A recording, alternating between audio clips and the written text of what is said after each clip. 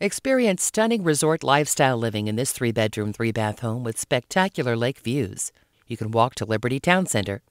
This home is custom built quality with upgrades galore. It's open with natural light and is better than new, featuring beautiful decor. Call today for a tour with Cindy.